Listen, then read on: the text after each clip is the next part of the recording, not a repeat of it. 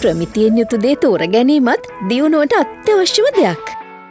විෂන්කයා විශ්වාසනීය දැක්ම. තම පැහැදිලිව කල්ගියපු එක්සත් ජාතික පක්ෂ කෘත්‍යාධිකාරි මණ්ඩල රැස්වීමේ. ඊ හවසත විච්ච අද මාධ්‍ය වාර්තා කරන ආකාරයට සජිත් ප්‍රේමදාස මැත්තුමා පක්ෂය නියෝජ්‍යනායක අගමැති අපේක්ෂකතුමා සහ ජනාධිපති වර්ණය තරංකරපු අපේක්ෂකතුමන් කෘත්‍යාධිකාරි මණ්ඩල රැස්වීමේ මගදී නැගිටලා ගිහිලා තියෙනවා. එහෙමනේ වාර්තා කරලා තියෙන්නේ. ඒ වගේම මද්දුම් බණ්ඩාර මැතිතුමාව ඒ සන්ධානයේ ලේකම් හැටියට එකඟතාවය පළ කරලා තිනවා.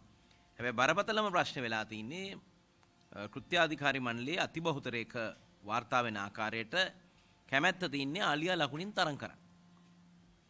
ඒතර ආලියා ලකුණින් තරඟ කරනකොට මේ වෙනකොට අපි මැතිවරණ කොමසාරිස්ගෙන් ගත්තොත් එහෙම තොරතුරු සාමාන්‍යයෙන් වෙන්නේ මැතිවරණයකදී ගැසට් නිවේදනය එහෙම නැත්නම් ඒකේ නිවේදනයක් නිකුත් වෙනවා. ඒකේ පක්ෂය, පක්ෂයේ නම, පක්ෂයේ ලිපිනය, පක්ෂයේ ලේකම් සහ ලකුණ කියන ටික ඒ ඒකේ සඳහන් වෙනවා.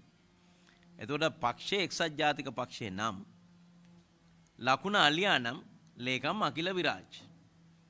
ඇඩ්‍රස් එක ලිපිනය සිරිකොත.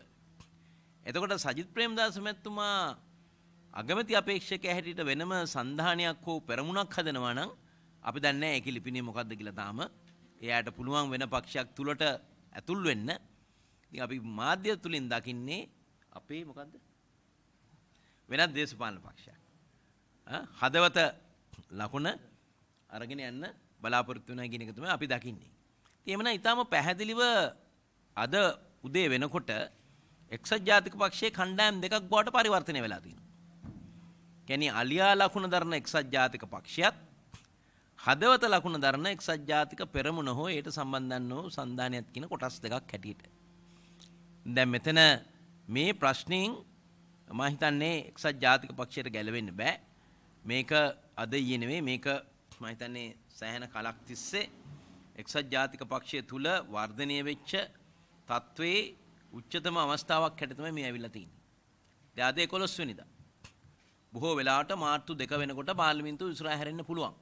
මාර්තු පළවෙනිදාන් පස්සේ විසුරු හරින්න පුළුවන්. එහෙම වුණොත් එදා ඉඳලා දින 10ක් දැන්වීම ඊළඟ දින 7 දී නාම යෝජනා බාර ගැනීම සිදු වෙනවා. ඉතින් ඒක නිසා මම හිතනවා මේ අවස්ථාවේදී එක්සත් ජාතික පක්ෂයේ ඉතිහාසයේ අපි දන්න මෑත ඉතිහාසයේ මූණ දෙන බරපතලම බෙදීමකට තමයි අද මුහුණ දීලා තියෙන්නේ. මම ඒක හොඳයි කියනව නෙවෙයි ඒක ඒ අයගේ පක්ෂයේ අභ්‍යන්තර ප්‍රශ්නයක්. සය අයගේ කඳවුරේ. දැන් මට දුක ඒක නෙමෙයි අයිත් ඒකට සම්බන්ධ වෙලා හිටපු අපිනුත් ඒ පැත්තට ගිය කීප දෙනාගෙන ඒගොල්ලෝ කොහෙද නවතින්නේ කියන කාරණේ. ඒක නිසා මෙවර පාර්ලිමේන්තු මැතිවරණය අපි කවුරුත් නොහිතන වෙනසක් සිදුවෙන මැතිවරණයක් බවට පත් වෙනවයි කියන පෙරනිමිති දැන් ලක් ඇති වෙලා තියෙනවා.